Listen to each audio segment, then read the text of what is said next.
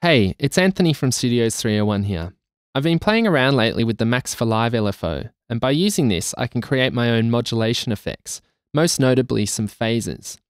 A phaser is based around the idea of an all pass filter, which we can create by using a variety of EQs on a return track.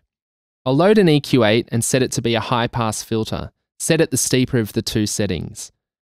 I'll then add a utility in front of this EQ, and the reason for this is so I can control the phase of these filters that I'll be using shortly.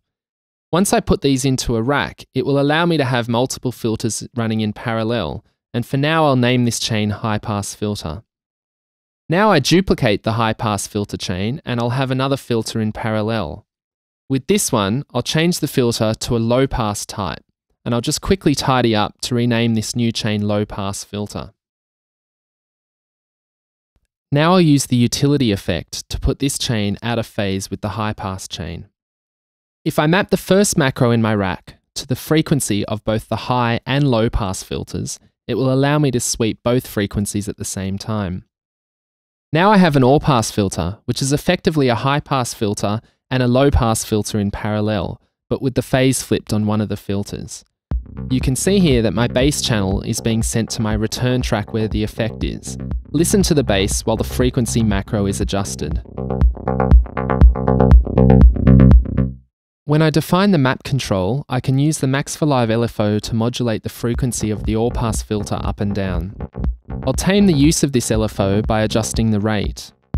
Reduce the depth control so the LFO doesn't move over such a large range and adjust the offset, which effectively gives me control over the center frequency on which the all-pass filter is applied. When I adjust the time mode, I can make the modulation work in time with my tempo. So there you have a basic phaser effect, based on the all-pass filter I have created. Now let's have a bit more fun with the idea and have a look at the racks I have made, which you can also download. These are based on the same live effects we've just looked at, but go far more in depth by creating multiple all-pass filters in series with each other. This means they are put one after the other and it further enhances the sound.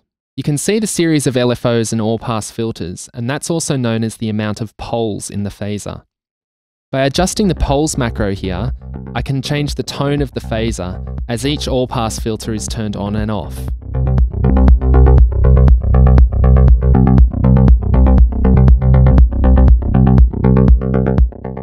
I've also mapped the phase of each of the bands of the all-pass filters to a macro, which gives me further tone control by swapping the phase settings between the bands of the all-pass filters. Watch out because there is a glitch as you cross that midpoint of the setting there. Some of the other controls I have here include what we looked at earlier. The center frequency, the rate,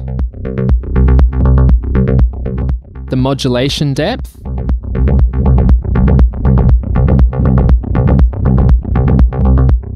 and also a Q control, which has quite a dramatic effect on the phaser. Watch out as it can easily distort.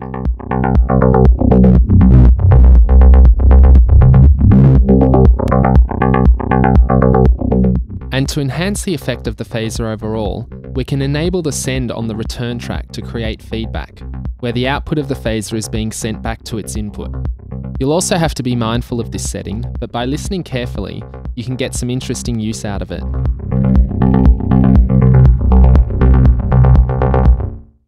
Now that we've looked through this rack, I've also created a very similar effect, but instead of using the EQ8, I've used the auto filter. This processes the sound in a similar way, but has a slightly different tone to it, because of the way the autofilter is created and its relationship with two parts of the all-pass filters. If you play with the center frequency and the resonance control, you'll hear what I mean.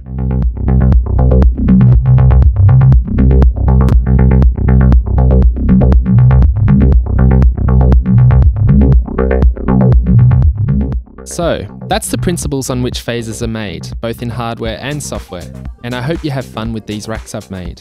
Try experimenting with the all-pass filters and the Max for Live LFOs some more. We'd be keen to hear what you can come up with.